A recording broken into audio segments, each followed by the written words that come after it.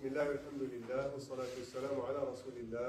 اللهم صل على محمد وعلى آل محمد كما صليت على إبراهيم وعلى آل إبراهيم. إنك حميد مجيد. اللهم بارك على محمد وعلى آل محمد كما باركت على إبراهيم وعلى آل إبراهيم. إنك حميد مجيد. اللهم علمنا ما ينفعنا وانفعنا بما علمتنا وزدنا علما. سبحانك لا علم لنا إلا ما علمتنا. إنك أنت العليم الحكيم. اللهم أرنا الحق حقا وارزقنا اتباعه وأرنا الباطل باطلا وارزقنا اجتنابه. أما بعد إخواني أخواتي sœurs السلام عليكم ورحمة الله وبركاته. نبدأ اليوم إن شاء الله ومن أجل شهر رمضان نبدأ بالكلام عن الصيام وفقه الصيام حتى نتعلم إن شاء الله قبل وصول رمضان كل ما يتعلق أو معظم ما يتعلق بالصيام إن شاء الله. Donc nous allons entamer quelques cours, Inch'Allah, deux, trois, peut-être, concernant euh, le jeûne, le siyam. On le fait avant le mois de Ramadan, bien sûr, pour se préparer. Quand euh, arrive le mois de Ramadan, on est prêt, Inch'Allah, à faire ce jeûne comme il se doit, Inch'Allah. فالصيام معناه اللغة في اللغة العربية هو الإمساك الإمساك عموما ففي اللغة العربية صمت يعني أمسكت أمسكت عن الكلام عن الطعام عن عن كل شيء صامت الفرس يعني لم أو توقفت عن الركوب مثلا أو العدو Donc, الصيام en langue arabe, ça veut dire l'abstention. Abstention de toute chose. Donc, sans préciser, en général, c'est l'abstention, soit de parler, soit de manger, soit de courir. C'est un terme arabe utilisé pour désigner euh, toute forme d'abstention euh, volontaire. فالصيام ولكن الصيام نعم. الصيام في الشرع. هذا اللفظ أصبح لفظا شرعيا. فمعناه في الإسلام هو الكف عن الأكل والشرب والشهوات وكل المفطرات عموما. Mais donc, dans la religion musulmane, le, le jeûne, le, le siyam, veut dire s'abstenir de manger, de boire et euh, d'avoir des relations intimes ou toute forme ou toute chose qui peut euh, annuler ce, ce jeûne. Avec une intention de l'aube jusqu'à jusqu'au coucher du soleil.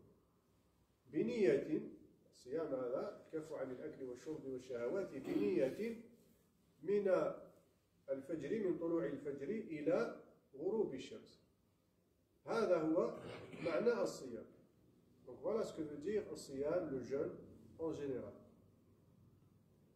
والصيام في الإسلام أنواع هناك صيام واجب مفروض وصيام تطوع نافلة أو سنة Dans l'islam, le jeûne, il y a deux formes de jeûne. Une forme obligatoire, c'est-à-dire la personne est obligée de jeûner, et une forme surérogatoire, pas obligatoire. فالصيام الواجب أول صيام الواجب هو صيام رمضان هذا صيام واجب هناك صيام آخر واجب صيام مثلا الكفارات كفارات صيام واجب قتل الخطأ الظهر إلى آخره. هذا صيام واجب.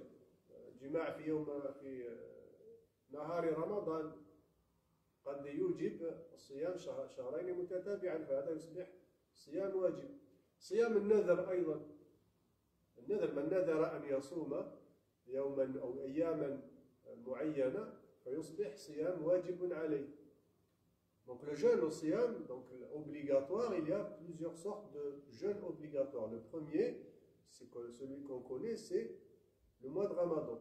Jeûner le mois de Ramadan, c'est un jeûne obligatoire et c'est le troisième pilier, le quatrième pilier de l'islam. C'est le quatrième pilier de l'islam. Après Shahada, la prière, le zakat, vient le siyam. Il y a aussi un autre jeûne obligatoire, une autre forme de jeûne obligatoire, c'est le kaffarat, l'exhortation. Les siyam, c'est les jeûnes d'exhortation.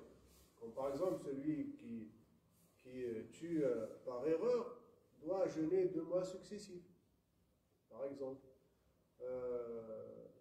celui qui a des relations intimes le jour du mois de Ramadan, par exemple, doit jeûner s'il ne peut pas, donc il n'y a plus d'esclaves à franchir, il doit jeûner deux mois successifs. Donc ça devient un jeûne obligatoire. Un jeûne, un engagement, quelqu'un qui s'engage envers Allah de jeûner tel ou tel jour, ça devient obligatoire pour lui. Donc voilà les, formes de jeûne obligatoires. Et le premier d'entre eux, bien sûr, c'est le jeûne du mois de Ramadan, Siyam. الصيام الواجب الأول معروف هو صيام رمضان وكل باقي الصيام فهو نافلة et toute autre forme de jeûne c'est des jeûnes c'est des, du jeûne surrogatoire qui n'est pas obligatoire par exemple les trois jours de, de chaque mois euh, le lundi, le jeudi, tout ça c'est surrogatoire Ashura Ashura aussi c'est un jeûne Waquf Arafa 9e jour de Dhul aussi c'est un jeûne surrogatoire سنة هناك من من الصيام ما هو سنة وفي شهر شعبان أيضا الصيام في شهر شعبان من من سنن الصيام كان يفعله النبي صلى الله عليه وسلم Parmi les jeûnes surrogatoires aussi, le mois de Sha'ban, le mois où on est aujourd'hui. On est maintenant au mois de Sha'ban. Donc c'est une sunna, une tradition prophétique. Le prophète sallallahu alayhi wa sallam jeûnait beaucoup le mois, le mois de Sha'ban. لماذا النبي صلى الله عليه وسلم يصوم شهر شعبان كثيرا ووردت أحاديث كثيرة أحاديث كثيرة تتكلم عن صيام النبي صلى الله عليه وسلم في شهر شعبان. فجاء في حديث عائشة أنها كانت كانت تقول أن النبي صلى الله عليه وسلم كان يصوم تقريبا كل إلا قليل كل شعبان إلا إلا القليل منه إلا بعض الأيام. وحث النبي صلى الله عليه وسلم أيضا عن عن صيام شعبان. وقال ذلك شهر يغفل عنه كثير من الناس. Surrogatoire qui est le mois de Sha'ban, le professeur Aslam jeûnait beaucoup le mois de Sha'ban. Aïcha, son épouse, anha, donc on en a parlé, elle disait qu'il jeûnait beaucoup le mois de Sha'ban, il ne, donc il, ne, il a arrêté de jeûner que quelques jours, c'est tout. Mais la majorité du, du mois de Sha'ban, il le jeûnait, le prophète sallallahu. Il a aussi incité à jeûner ce mois de Sha'ban. Il a dit que c'est un mois entre Rajab, celui d'avant, et, et Ramadan, que beaucoup de, beaucoup de gens euh, donc n'y prêtent pas attention à ce mois. Donc voilà, c'est un jeûne surrogatoire. صيام عرفة يوم عرفة أيضا من ذي الحجة التاسع من ذي الحجة أيضا من من صيام السنة وأيضا صيام عاشوراء من السنة الاثنين والخميس من السنة أيضا ثلاث أيام البيض مثلا من السنة من سنة النبي صلى الله عليه وسلم وحث عليها النبي صلى الله عليه وسلم ولكنها ليست ليست واجبة أيضا العشر أوائل من ذي الحجة aussi les dix premiers jours de Dhul Hijjah, le mois où on accomplit le Hajj. Aussi, les dix premiers jours, euh, on peut aussi jeûner. C'est une forme de jeûne aussi surrogatoire. C'est يوم النافلة. فالصيام واجب وهو ركن من أركان الإسلام صيام رمضان 30 يوم أو 29 يوم هذا رمضان إذا دخل رمضان فيجب الصيام على على الناس من الذي يجب عليه الصيام Donc le, mois, le jeûne du mois de Ramadan est obligatoire, mais pour qui est obligatoire le jeûne du mois de Ramadan, qui est le quatrième pilier de l'islam فصيام رمضان إذا واجب على البالغ العاقل والقادر يجب الصيام صيام رمضان على البالغ Le jeûne du mois de Ramadan est obligatoire pour le majeur religieusement, majeur, pour celui qui est religieusement majeur, qui a toute sa raison et qui en a les capacités. C'est-à-dire qu'il peut jeûner. طبعا البالغ هو الذي ظهرت عليه علامات البلوغ donc le, le ou le, majeur, religieusement majeur, euh, fille ou garçon, c'est euh, celui euh, sur lequel sont apparus les signes de la puberté, que tout le monde connaît. Donc si un jeune homme, un jeune garçon, une jeune fille atteint l'âge de la, de la majorité religieuse, donc toutes les obligations religieuses deviennent, deviennent le concernent, on va dire. فالبالغ يصبح مكلف بكل واجبات الإسلام منها الصلاة ومنها الصيام أيضا ومنها الصيام والغير بالغ ليس بواجب عليه celui qui n'a pas atteint la majorité euh, religieuse n'est pas obligatoire pour lui d'accomplir le jeûne du mois de Ramadan.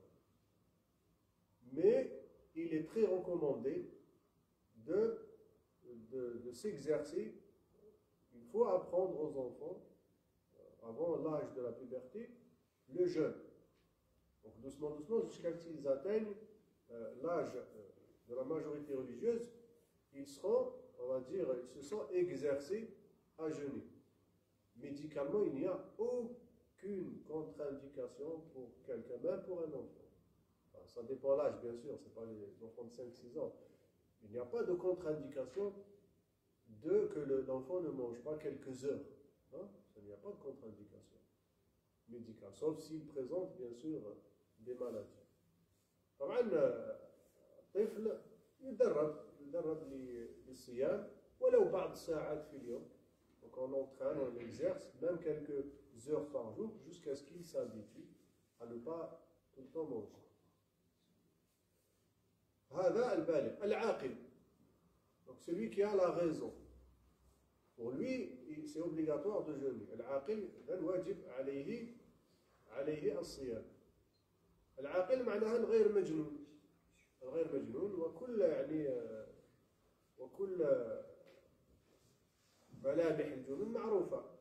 إنسان مجنون أو غير عاقل فمختل عقليا لا يجب عليه لا يجب عليه الصيام Donc celui qui n'a pas toute sa raison, quelqu'un qui présente une maladie mentale, etc., il n'est pas concerné par, par les obligations religieuses. Dans le jeûne, le jeûne du mois de Ramadan, ce n'est pas obligatoire. ثم القادر, celui qui a les capacités de le faire, une capacité physique.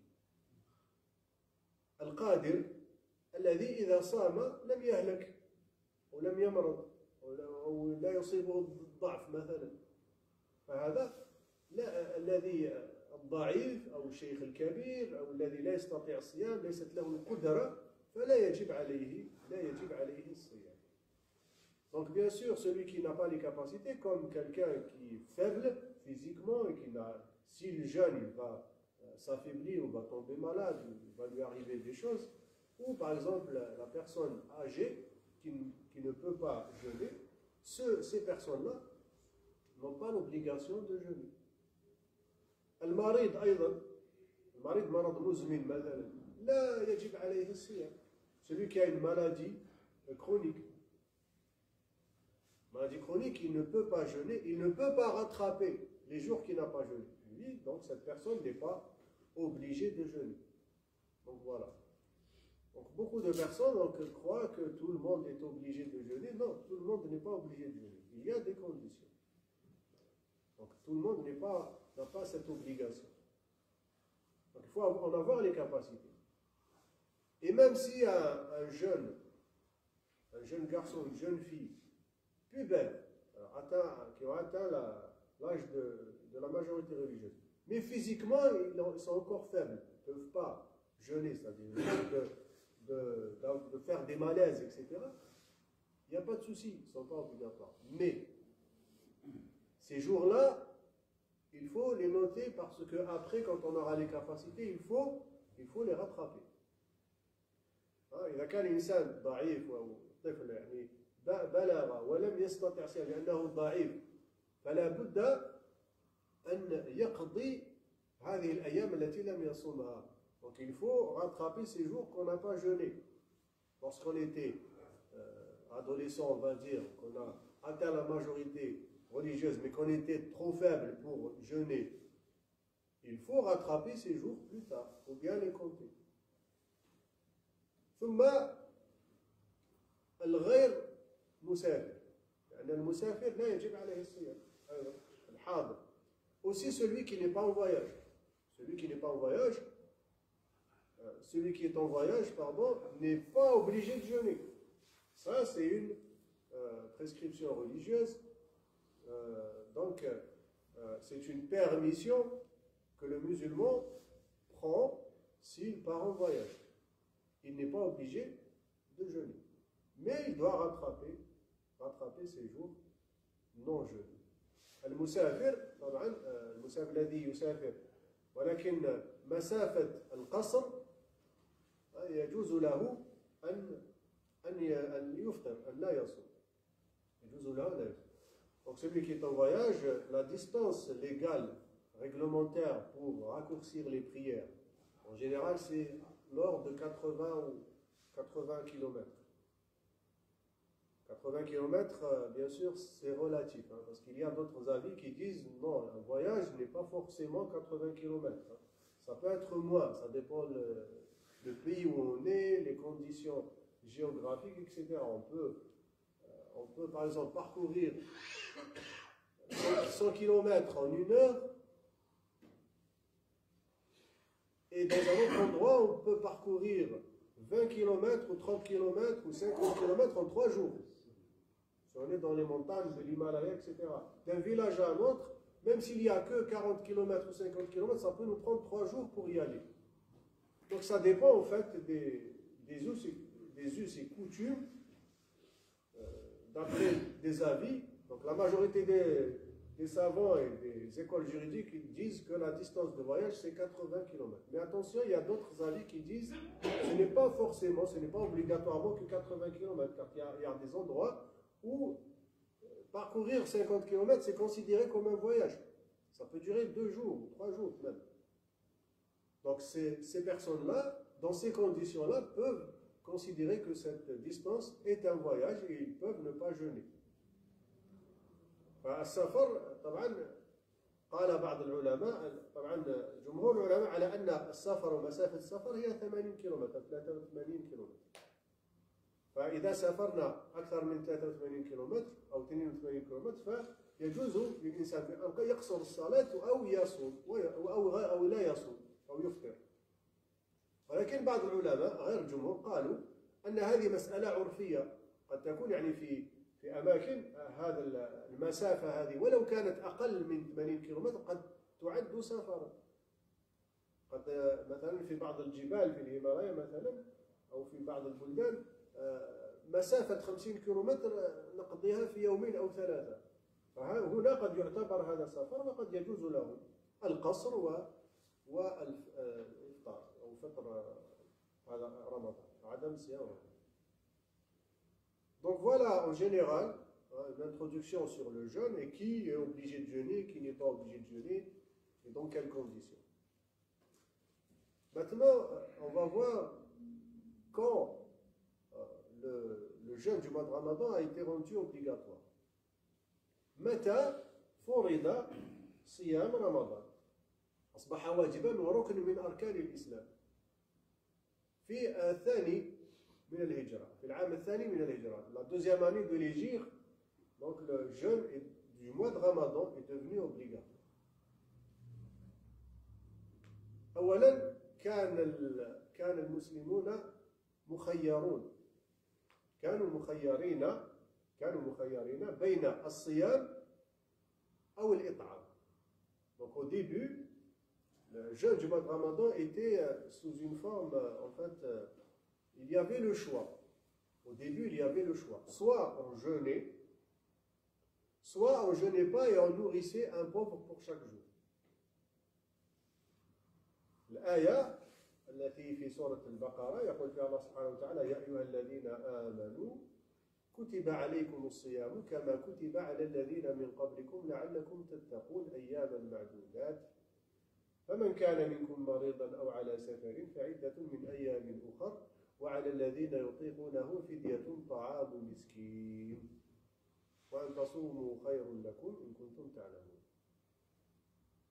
ومن فمن تطوع فهو خير له وأن تصوموا خير لكم إن كنتم تعلمون. هذه الآية الأولى التي نزلت في صيام شهر رمضان. أصبح واجبا ولكن كان المسلم مخير. Donc au début, Allah a rendu le mois de, Ramadan obligatoire. Donc il a dit, oh vous qui avez cru, euh, donc euh, le jeûne, le siam vous est prescrit comme il a été prescrit euh, aux populations d'avant vous. En quelques jours connus, hein, c'est les 30 jours du mois de Ramadan. Donc celui donc, qui est malade ou qui est en voyage il peut rattraper ses jours donc, plus tard. Et ceux qui ne peuvent pas, qui n'ont pas la capacité de jeûner, ou qui ne peuvent pas jeûner, ou ne veulent pas jeûner, ils peuvent nourrir à la place un pauvre. Ça, c'était le début du mois de Ramadan, c'était comme ça. كان هكذا صيام رمضان مخير المسلم كان مخير وايضا هناك كانت هناك ايضا كان هناك شيء يعني خاص il y avait aussi quelque chose de particulier. En fait, ils jeûnaient de l'aube jusqu'au coucher du soleil, et après ils avaient le droit de manger, d'avoir des relations intimes, de boire, de manger des relations intimes, jusqu'à l'Isha. C'est tout. Ou jusqu'à ce qu'ils dorment. المسلم يصوم يفطر في المغرب ثم له يعني الحق أن يأكل ويشرب ويجامع إلى العشاء أو إلى أن ينام فإذا نام واستيقظ لا يجوز له الأكل ولا ولا الشرب ولو ولا الجماع ولو قبل العشاء Donc c'était soit jusqu'à l'Aïcha, jusqu'à l'Aïcha, c'est-à-dire il mange, il boit jusqu'à l'Aïcha, après l'Aïcha c'est terminé, il n'a plus le droit. Il n'a plus le droit. Et s'il dormait avant, aussi il n'avait pas le droit, il n'avait plus le droit. C'était comme ça au début. ثم نسخت الآية فقال شهر قال الله سبحانه وتعالى شهر رمضان الذي أنزل فيه القرآن هدى قال الله سبحانه وتعالى شهر رمضان الذي أنزل فيه القرآن هدى للناس نعم وبينات من الهدى والفرقان فمن شهد منكم شهرا فليصوم Donc après a été révélé le verset qui vient après, donc euh, le mois de Ramadan, donc c'est le mois, mois béni, etc., où le Coran a été révélé.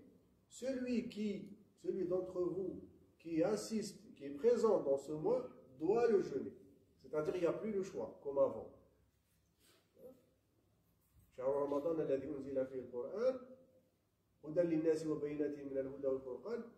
فمن شهد منكم الشهر فليصم يعني ليس هناك خيار ومن كان مريضا أو على سفر فعدة من أيام أخر يريد الله بكم اليسر ولا يريد بكم العسر ولتكملوا العدة ولتكبروا الله على ما هداكم ولعلكم تشكرون Donc, il n'y a, a, plus le choix. Lorsque ce, le deuxième verset a été révélé, il n'y avait plus le choix. Donc tout le monde devait, devait jeûner.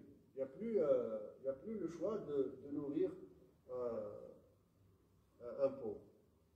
Ce choix-là, concerne maintenant uniquement ceux qui n'ont pas la capacité de jeûner et n'ont pas la capacité, n'ont pas la capacité de, de rembourser, de rattraper ces jours-là. Comme les vieilles personnes, les personnes très âgées. هذا هكذا كان كان الصيام هكذا فرض فرض الصيام فرض الصيام من طلوع الفجر إلى إلى غروب الشمس إلى غروب الشمس. ثم هناك شروط للصيام شروط وجوب وشروط صحة وشروط وجوب وصحة. Et puis il y a des conditions, des conditions pour jeûner. Il y a des conditions d'obligation, des conditions de validité et des conditions d'obligation et de validité. Les conditions d'obligation, شروط الوجوب شروط الوجوب هو هم اثنان فقط طبعا نحن نتكلم عن الفقه المالكي هنا donc bien sûr ici on parle du fiqh maliki il peut y avoir quelques divergences avec d'autres jurisprudences mais en général c'est la même chose شروط الوجوب شرطان فقط البلوغ والقدرة شروط الوجوب البلوغ والقدرة Donc les conditions de validité, c'est le fait d'obligation, c'est le fait qu'on soit euh, majeur, religieusement majeur, et la capacité. Si on n'est pas majeur et qu'on n'a pas la capacité, quelle que soit la forme d'incapacité, hein, parce qu'on est âgé, parce qu'on est malade, etc., etc., on n'est pas obligé de jeûner. Il n'y a pas d'obligation. C'est-à-dire la personne ne, sera pas, elle ne va pas rendre des comptes euh, sur le fait euh, qu'elle a, qu'elle a jeûné ou pas. طبعا شروط الوجوب على البلوغ والقدرة ما معنى شروط الوجوب؟ معناها هو غير واجب عليه الصيام ولكن إذا صام صح منه يعني إذا صام الصيام صحيح donc ce n'est pas obligatoire pour lui mais s'il jeûne le jeûne est valide c'est ça les conditions d'obligation شروط الوجوب ثم هناك شروط الصحة il y a les conditions de validité ما معنى شروط الصحة يعني شروط إذا فعلها صح وإذا لم يفعلها لم تصح ولو كان واجبا عليه. هذا هو. يعني ولو كان واجبا عليه وإذا خلت هذه الشروط لم يصح الصيام. الصيام غير صحيح. وهي أربعة. وهي أربعة الإسلام شروط صحة الإسلام. لماذا الإسلام؟ لأن يعني غير مسلم إذا صام لم يقبل منه الصيام لأنه غير مسلم. لن يأتي يوم القيامة يقول أنا صمت لا لن يقبل منه لأنه هذا شرط صحة Donc une condition, la première condition de validité pour que le jeûne soit valide, c'est-à-dire rétribué auprès d'Allah subhanahu wa ta'ala euh, et accepté, il faut que la personne soit musulmane, le jeûne du mois de Ramadan. Il faut que la personne soit musulmane. Donc si elle le fait quand même, ce ne sera pas accepté. Mais euh, il peut le faire, il n'y a pas, de problème, il peut jeûner. D'ailleurs, beaucoup, beaucoup de non-musulmans jeûnent. Mais religieusement parlant, auprès d'Allah il ne peut pas dire tiens, j'ai jeûné le mois de Ramadan. Non, il faut d'abord croire en Allah, au professeur être musulman, et après, après euh, ses obligations euh, concernent la personne. Sinon, ses obligations ne le concernent pas. الكف والشرط الثاني شرط صحة هو الكف عن المفترات عموما المفترات عموما bien sûr là la deuxième condition, c'est le fait de cesser hein, de manger, de boire, d'avoir des relations intimes, et quel que soit l'acte qui va rendre invalide ce jeûne. Et on va voir, il n'y a pas que, que ces trois-là. Il peut y avoir d'autres choses aussi. On va les détailler, Inch'Allah. نعم لا لا شروط نتكلم عن شروط الصحة يعني عن شروط صحة الطهارة الكبرى لا يا أخي لا لا الطهارة الكبرى يعني من الجنابة لا لا لا إذا صام الإنسان وهو جنوب الصيام صحيح Donc le frère pose la question, c'est-à-dire les grandes ablutions. Non, non, non. Euh, par rapport aux hommes, pas les, les femmes. Hein. Donc ça c'est autre chose. Les femmes quand ils ont leur menstruation, c'est autre chose. On va le voir après. Même si on n'a pas ces grandes ablutions, le jeûne est valide. Même si on passe toute sa journée, on n'a pas, pas fait ces grandes ablutions, le jeûne est, est valide il est valide et, accepté s'il comporte les, conditions qu'il faut. Mais les grandes ablutions, ne sont pas des, conditions de validité. Sauf pour euh, les menstruations des, femmes. Ça, c'est autre chose.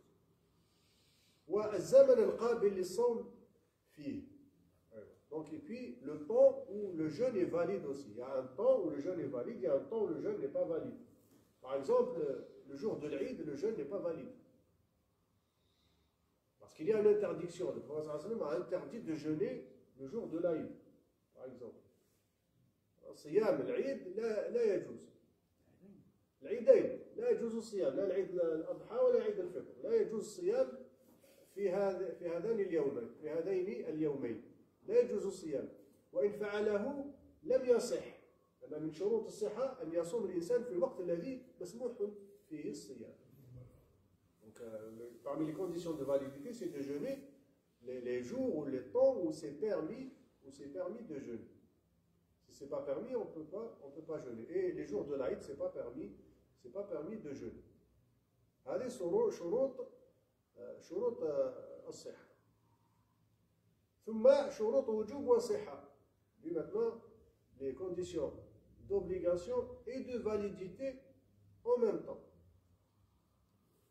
donc c'est la raison العقل والنقاء من دم الحيض والنفاس ودخول وقت صوم رمضان مثلا donc les conditions d'obligation et de validité ce n'est pas obligatoire pour quelqu'un qui a perdu sa raison un malade mental ce n'est pas obligatoire pour lui de, de jeûner et même s'il le fait ça n'a pas d'incidence c'est-à-dire ce n'est pas valide pour lui. Il n'est pas concerné par, par les, les, actes obligatoires de la religion. Celui qui a perdu sa raison. هذا الفاقد العقل يعني شروط وجوب وصحة في نفس الوقت العقل إذا غير واجب عليه الصيام وإذا صام لم يصح منه ثم النقاء من دم الحيض ودم النفاس et puis